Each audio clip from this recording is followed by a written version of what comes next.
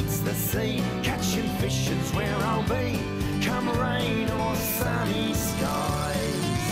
I'm gonna grab my fishing line. Yes, we're taking out some time. That's fishing. This has been a fishing tale, just like Jonah and the whale. No place I'd rather be. Yes, we're casting out a line. Everybody's feeling fine.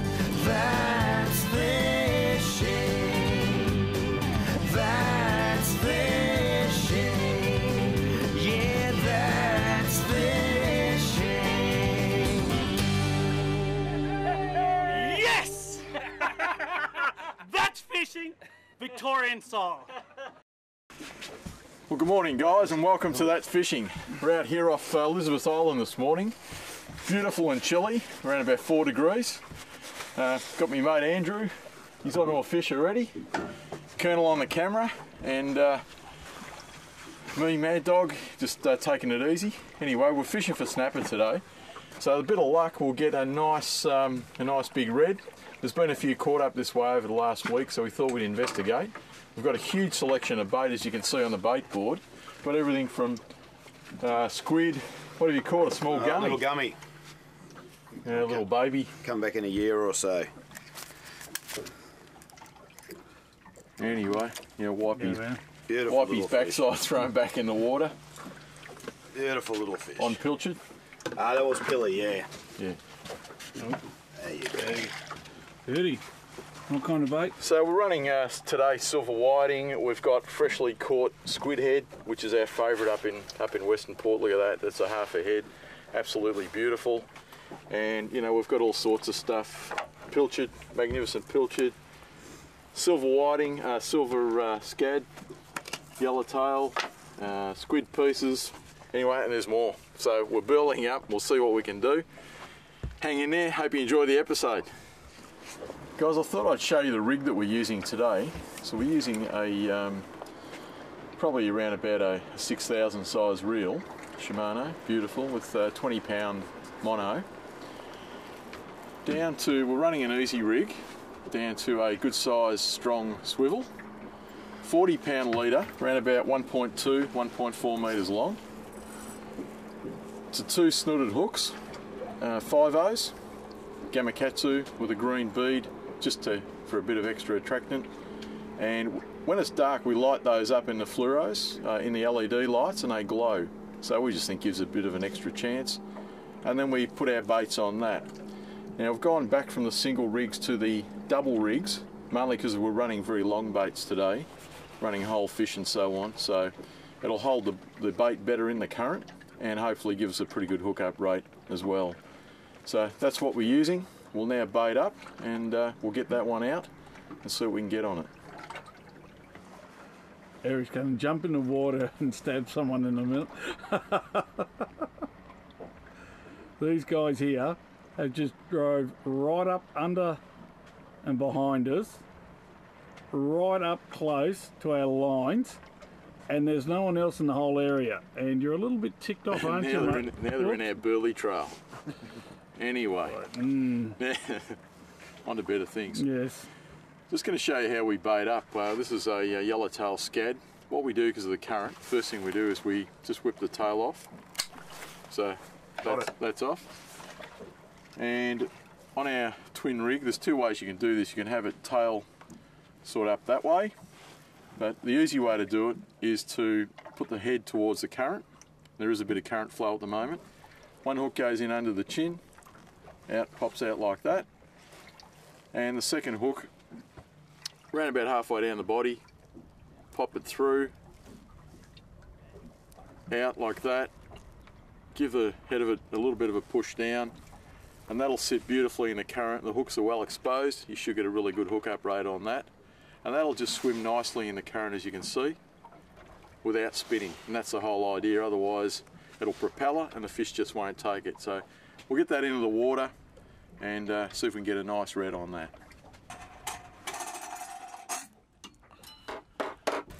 Yep, definitely something on.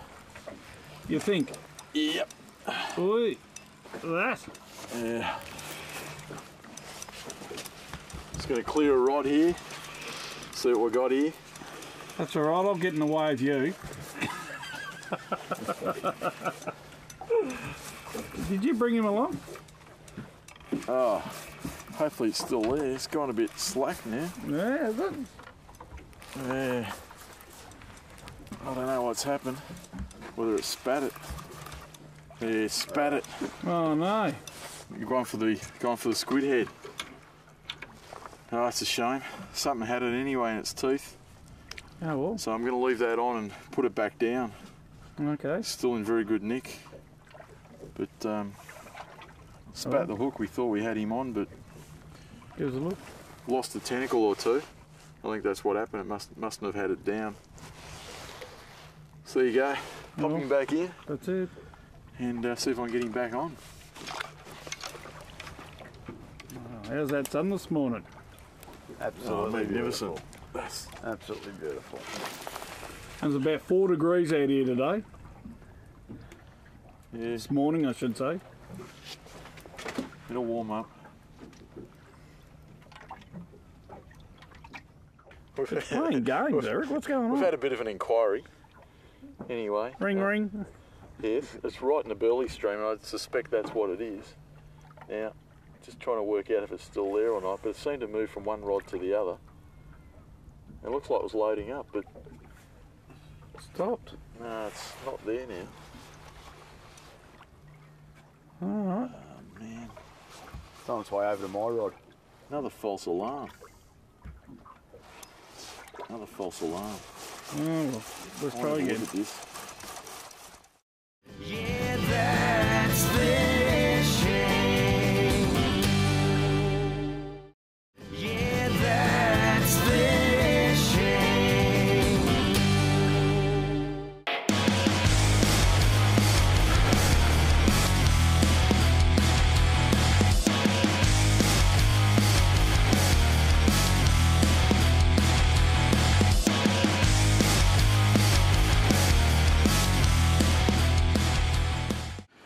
Well, g'day. Welcome to Tackle Talk. Now today we're talking about sand pumps. The old bait pump. The old bait pump, The old yeah. bait pump. A lot of people you get out have got bait pumps and they've had them for a lot of years, Mm. um, especially good uh, Australian-made ones. And this one is a, a Wilson bait pump. Yep. Good quality stainless steel, lasts forever and a day. But after a while, we found that people um, have problems with them because they're not getting the suction they need out yep. of them. Yep. Fair enough, they've got a pressure plate under there, so when, when we start losing a bit of traction, we can tighten that up. But after a while, the only perishable part in it is the rubber Around the washer itself. the washer itself, so that Yeah. needs to be replaced. And that, it's a nice and simple task. All it is is a matter of grabbing your bait pump. You'll see there's a little wing nut inside of that. It's just a matter of screwing that off, pulling the plate on, and putting the brand new washer back into it. Once we've done that, we've got full suction off and going again. It's the only thing that will ever go wrong with one of your Wilson bait pumps. Okay, and you carry these uh, washers here? All, all in stock. Um, Yep. There's a variety of different ones that you can buy. We use the Wilson bait pump washer, the original one that goes in there, because it does hold up the, the longest. And it's a bit more spongy, like a wetsuit material. That's exactly right. And Yep. what that allows it to do is when we're actually pulling it back up through the tube, it's creating that vacuum seal across. Right, up, up down And that's, that's giving us the pressure that we need. Yep. So it's the only part that needs replacing in these bait pump washers. As simple as that, and you're off and going. Beautiful. All right, for any information, that's fishing.com.au, and you know who to go and see. That's it. Done. I think we're on this time. Well, This uh, feels like a small gummy to me. Yeah. Here's a. Come on. Ah, it's like a swimming up current, but it's just sitting there. It's dug in. yeah. Oh man, that's, oh, that's Oh, a I gummy. reckon it's a big ray. Yeah, thanks for that. Uh, Ray, Ray Martin. Yeah, you, uh, you could be right. Could be right. There's a fair bit of pressure there, but it's just sort of, sort of hovering. So I think you're right. It could be a ray, but look, we'll have a bit of a look. Pretty deep here, and about what do we got? About 50 foot of water. yeah, about 17 metres or thereabouts. So I'll have a bit of a look. I suspect it's a small ray. You're loving those fresh squid heads, I'll say that much. It's moving around a bit now. Maybe I'm still going to be surprised. Yeah, it's a, it's a ray. No, it's a big elk. No, what is it? Oh, a massive Port Jackson. Wow, what a big one. This have to be. Oops. Look at that. He's a big Port Jackson. I Haven't seen one that big for a while. No, look at that. Just clear that little fella there, mate. Bring him in, we'll, uh, Yeah, well, I'll show you this little fella here. wow. He's a big fella, actually.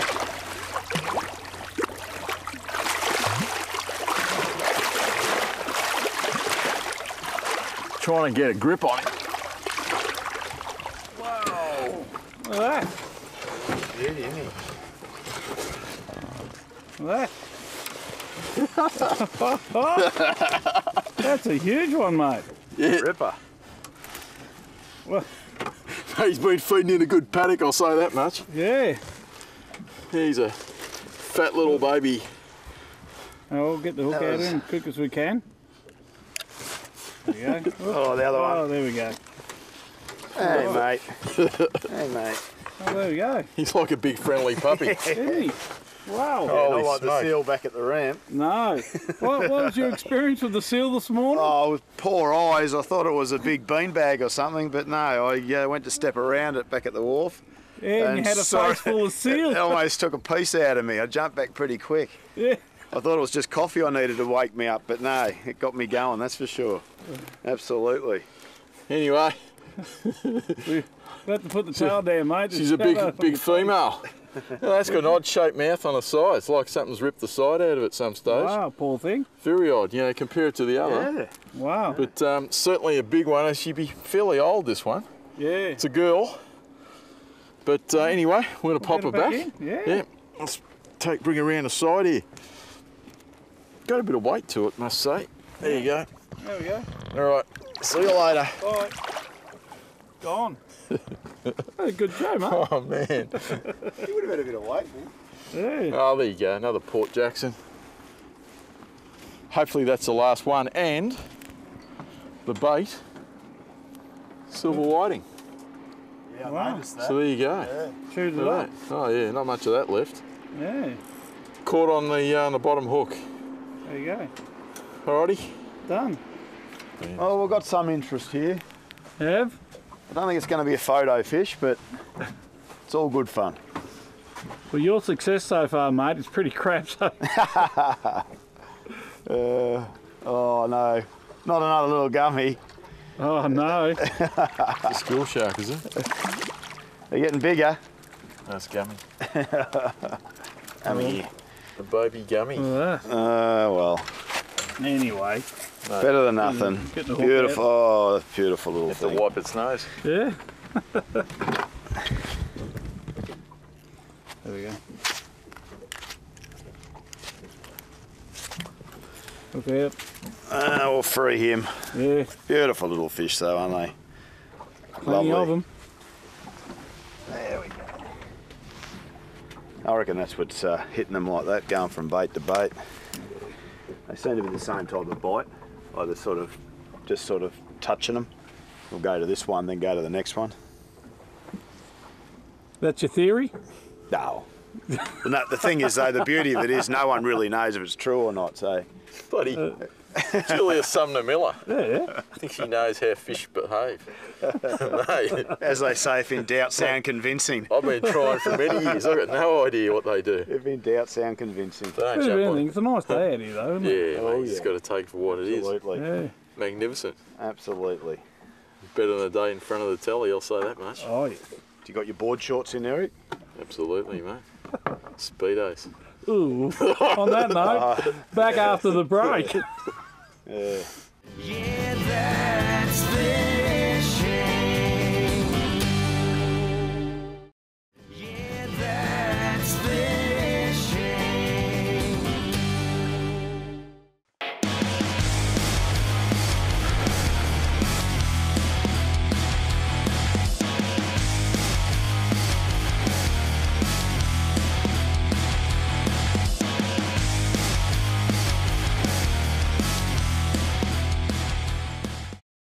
Hi and welcome to Tackle Talk this week. And Mick, what have we got? The boys from Akuma have come out with a, a surf reel, Surf reel, specialised surf reel, which has been good for the boys. Yep.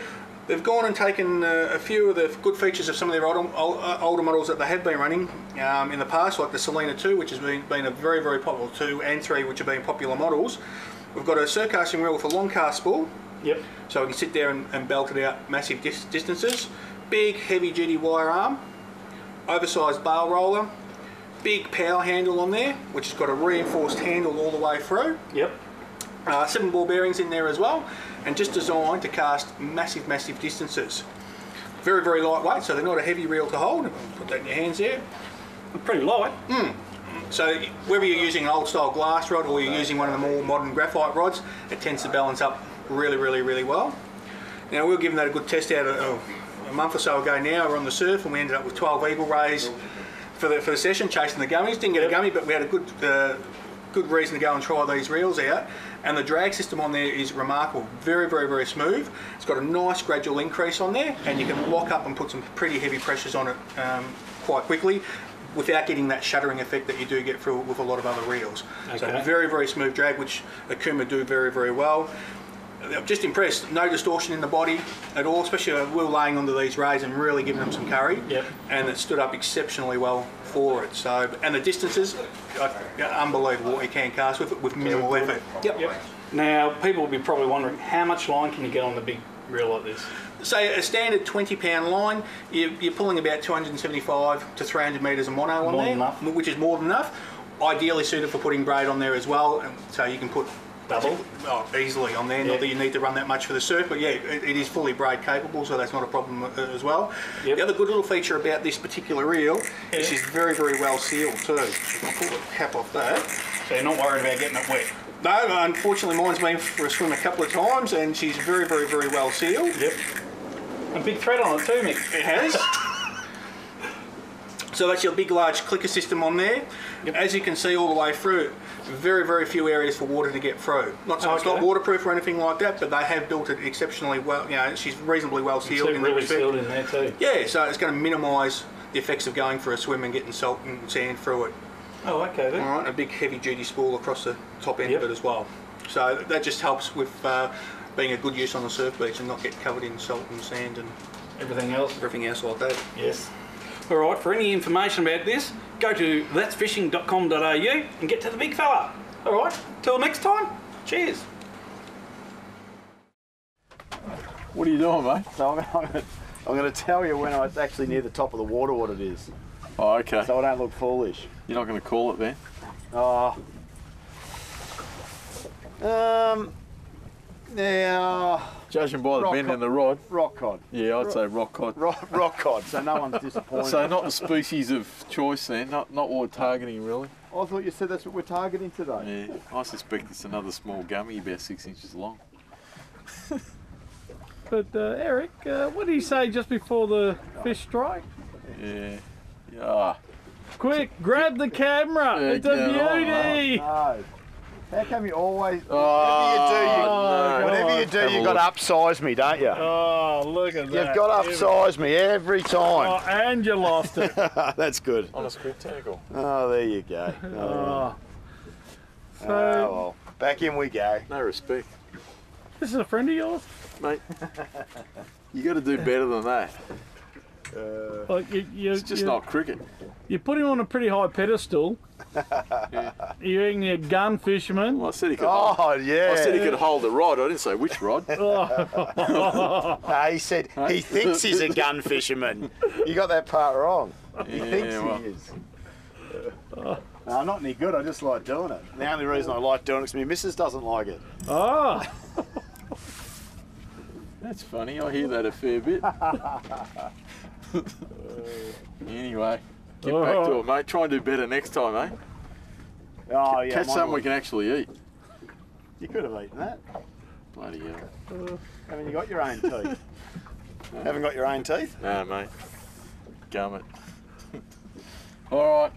Well, guys, uh, the fish are shut down, so we decided to pull a pin. We're going to head back out again tomorrow. I'll drag the Colonel out of bed at about 2 a.m. and he'll be carrying on and cursing and swearing like he normally does, but that's okay.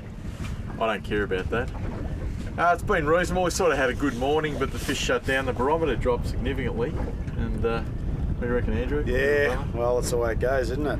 Yeah, Bit of fun. yeah, a bit of fun. So, All thanks, fun. Thanks for coming out, mate. Nah, pleasure. Thank you. Do it Thank again. you very much. No worries, mate. Good on you.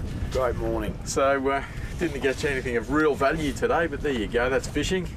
That's right. Pardon the pun, once again. anyway, Just being afloat's good, isn't it? we'll uh, we'll do it all again tomorrow. Hopefully, we can get onto some reds, maybe some whiting. We'll see what we're after. We might chase something different, but uh, it's been good. It's been great to get out. Beautiful sunshine, and uh, the water's been very kind to us. So, beautiful Western Port again. Anyway, we'll catch you after and see you at the next uh, session. See you later, guys.